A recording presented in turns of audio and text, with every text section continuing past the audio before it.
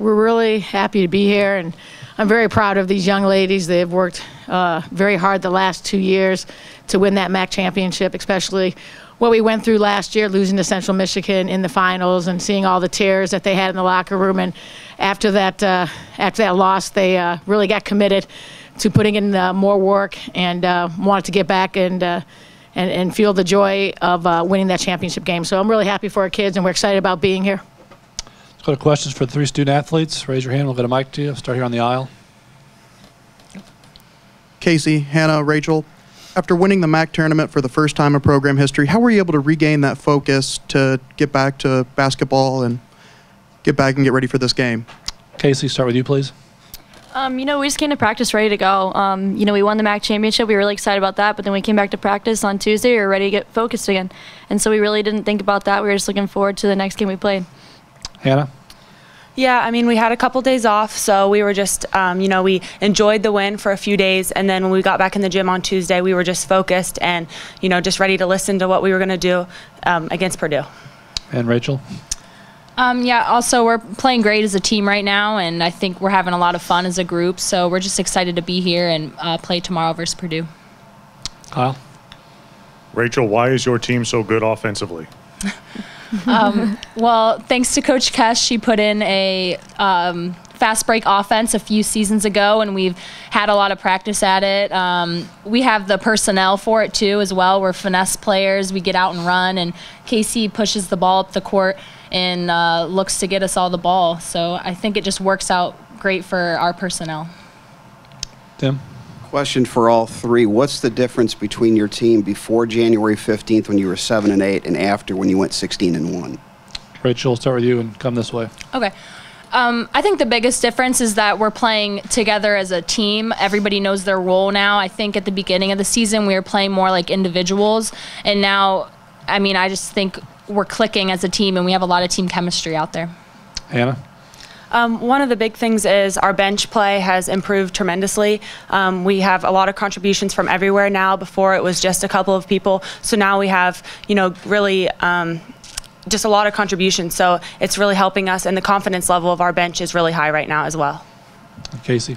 I mean, I would agree. Our bench has stepped up tremendously. I can't be more proud of those girls. And uh, I think we really looked in the mirror when we were January 15th. We looked in the mirror and knew we needed to do wrong. You know, we made improvements in practice, and so we stepped it up.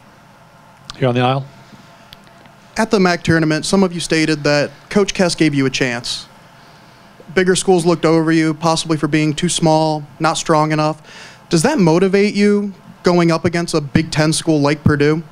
Hannah, we'll start with you. Um, I mean, I think we all want to prove ourselves, so I think that just we're just going to go out there and play our games.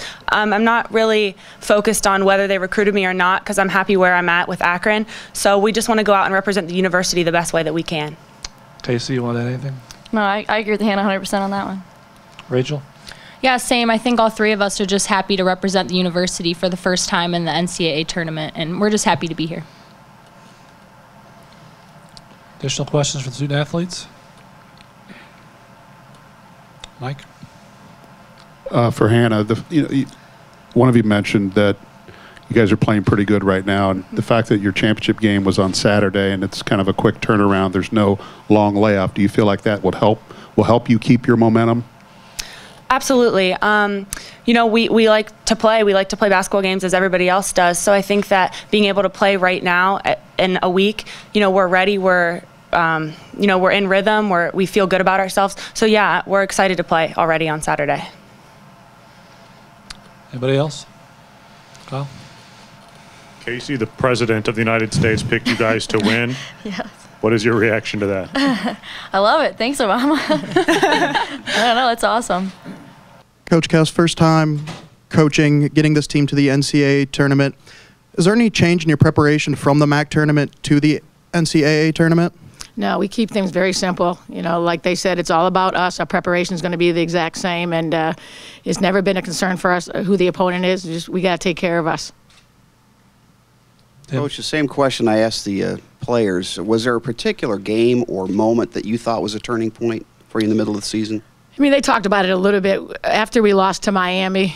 We were one and three in the conference, and that that uh, that hurt us because we lost to Central, wasn't a big deal. We didn't play well. We lost to BG, but losing to Miami at Miami really hurt. And the coaching staff, we came back and we self-evaluated us and what can we do differently. You know, sometimes you always want to point the fingers at your at your players and blame them, and we needed to look at ourselves and what we can do to, to get better, and then as well look at the players and what they can do better. So we made a change in the starting lineup, and then we sat them down and we said, you know, we're good enough to, to win the rest of the games, 14 in a row, or we're bad enough that we could uh, lose 14. And uh, uh, the change really helped in the starting lineup. Carly came off the bench and I thought did a fantastic job, especially a senior. That's a tough role. You've been starting for the last year, and now all of a sudden you're coming off the bench. And like the player said, I I think our bench has played unbelievable over the last month. Anita Brown, Katie Noonan, Carly off the bench, Megan Barilla, and um, even though Rachel and Hannah both scored 22 points, you know those other kids knew that they had capabilities of scoring,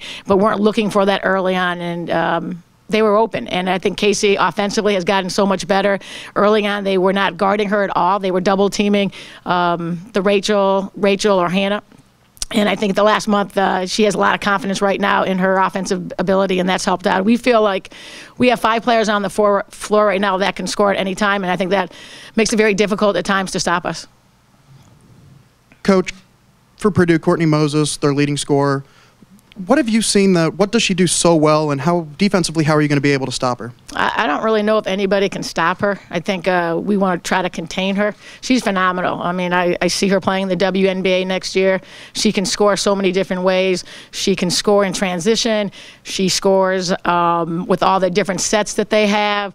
She scores in the two-man game that they have. I mean, she's just phenomenal. And to be honest, and I've seen Purdue play on the Big Ten Network uh, as a fan, just watching basketball, but not really evaluating it. And when I've watched the last six, seven games and, and, and watched their team play, how, how impressed I am with their team and with their coaching staff. And they do so many good things. And, uh, you know, we're going to have to play a great basketball game in order to beat them. Additional questions? Tim? Um, is there anybody that you've played this year from that has a similar style to Purdue, or that you that reminds you of Purdue? A little bit size wise, maybe Dayton. Dayton was a very big team. They like to score in transition. And, and when you look at Purdue, they score so many different ways in transition in their half court sets. They don't set as many of uh, ball screens as Dayton does, but size wise, I, I would rank them as close. Anything else? All right. Thank you, Coach. Good Thank you.